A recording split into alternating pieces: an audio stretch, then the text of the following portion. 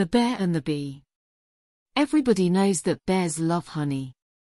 One day Mr. Bear looks in his cupboard and he can't find any honey. Oh no! No honey, he says. So he goes into the forest to find some. He sees a beehive in a tree. He smells the honey. Yummy. Mmm, yummy, Honey. yummy. He sticks his paw into the beehive and a bee flies out. Hey, bear! Go away, says the bee. This is not your honey. Mr. Bear is annoyed. I am bigger than you, he says. And I am stronger than you too. I can do what I want. Now, buzz off. Mr. Bear sticks his paw into the beehive again and... Oh no! The bee stings him right on his nose. My nose. My nose. Oh no, I'm so angry, growls Mr. Bear. He finds a big stick. He tries to hit the bee.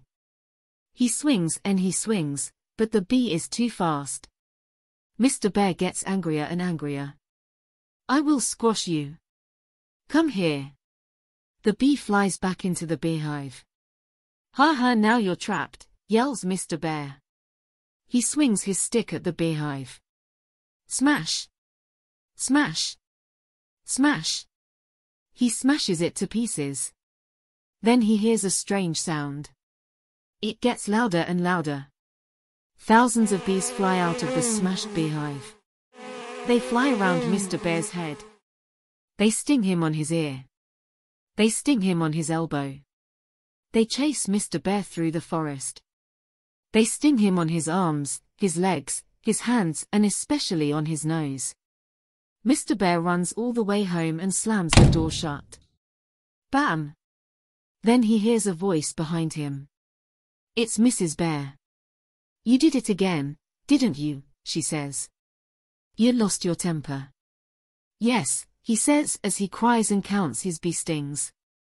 Here's the bee sting medicine, says Mrs. Bear. Also, we have honey in the cupboard. It's behind the flour. Moral, a hot temper always gets you into trouble.